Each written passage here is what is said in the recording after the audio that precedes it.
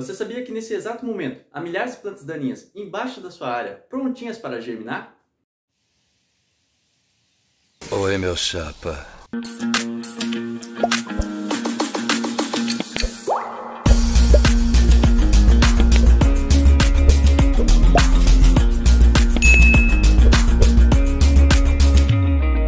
Olá, seja muito bem-vindo ao canal Menino com Água. Eu sou Giliade Menino e quando eu estava falando lá no início de milhares de plantas daninhas, isso é uma verdade, mas calma que não é tão difícil assim. Isso nada mais é do que o banco de sementes de plantas daninhas. É fato que as plantas daninhas produzem milhares de sementes e elas ficam armazenadas na sua área agrícola. Mas existem algumas condições para as germinarem, e aqui nesse vídeo você vai entender como é que faz para evitar que isso aconteça. O banco de sementes nada mais é do que o principal motivo para a reinfestação das plantas daninhas na sua área. É basicamente uma reserva de sementes, rizomas, tubérculos e estolões, que pode estar tanto na superfície ou em profundidade da sua área. Está muito presente nas áreas agrícolas e, na maioria das vezes, é formado por plantas anuais, Pode haver milhares de sementes em apenas um metro quadrado, e na maioria das vezes, é mais de 70% formado por plantas daninhas da região. E como se já não bastasse, algumas podem permanecer no solo por décadas. Isso é devido à característica de dormência das sementes, que germinam apenas após fatores ambientais ou da própria semente para permitir que a planta sobreviva nas melhores condições. Esses fatores podem estar ligados com água, luz, temperatura, nutrientes e outros. E qual que é o problema disso? Custo, é claro.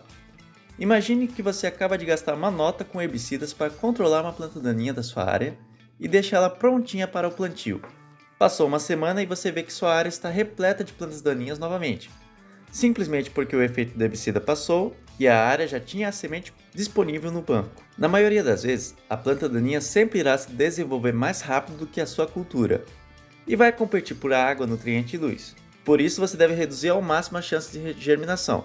E para isso temos algumas estratégias de controle. A primeira e a mais usada aqui no Brasil é a cobertura do solo, principalmente para quem faz o plantio direto.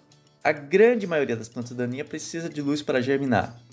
Com a cobertura você já reduz drasticamente esse número, além de evitar problemas com perda de umidade e erosão do solo. Rotação de culturas, porque além de manter a área ocupada, você sempre estará alterando o ambiente para a planta daninha, reduzindo as chances de germinação. O controle mecânico, como no caso a aração ou gradagem, pode funcionar se seu sistema for plantio convencional, mas tome muito cuidado.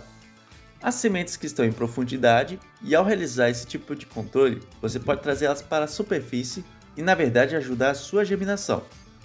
É muito mais interessante o uso do plantio direto ou rotação de culturas se você puder usar. O controle químico acaba sendo complemento e não a sua solução.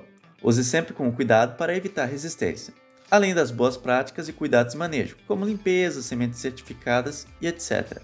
É praticamente possível você eliminar totalmente de uma área as plantas daninhas, mas se você usar essas dicas para mitigar o seu efeito, você consegue deixar a sua cultura mais competitiva com as plantas daninhas. E se você gostou do vídeo, curta, compartilhe e se inscreva no canal para ajudar a promovê-lo ainda mais.